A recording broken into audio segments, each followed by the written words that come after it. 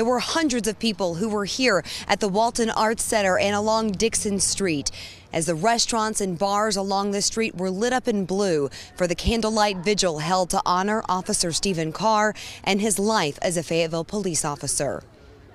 It was emotional, powerful. It's amazing to watch the turnout and how many people came out.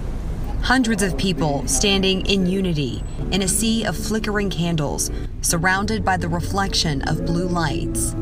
In the last three days, this city's put their arms around us as a police department and said, nobody's going to hurt our police department.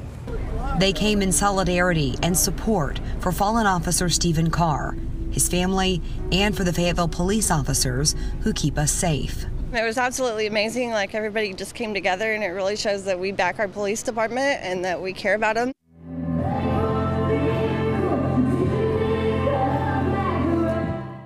Officer Carr was part of our Dixon Street family.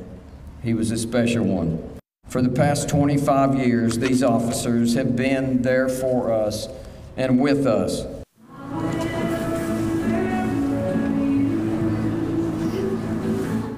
There was sadness and grief, but also gratitude. Because you are our real superheroes and what you do every day.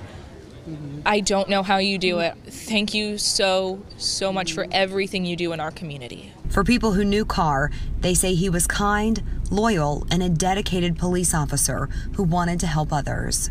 It's very emotional. He was a really great guy. He was one that kept us safe. He has a beautiful, infectious smile, um, a gentle giant.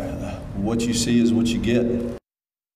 And the only thing he really wanted to do is he wanted to serve. He wanted to serve you, and he wanted to make his father proud.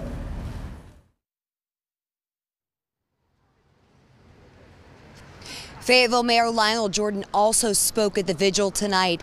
He said that it's times like these that truly test your soul, especially as an elected official. He said when looking out at the crowd, he couldn't be more proud of his community and this city.